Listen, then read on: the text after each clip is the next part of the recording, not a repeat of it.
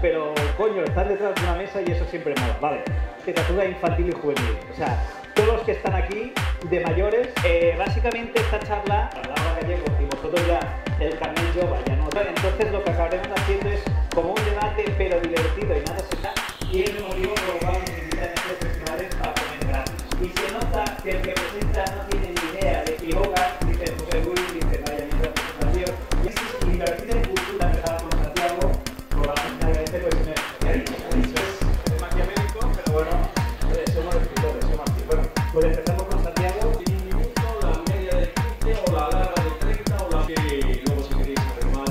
También escribo cosas humorísticas vez en cuando.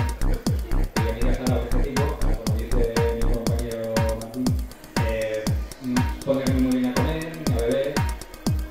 Hola, soy Javier Ruescas, soy autor y aunque siempre me he movido en el mundo fantástico, literatura que a veces es juvenil y a veces no, soy, y escribo porque me encanta y para hacer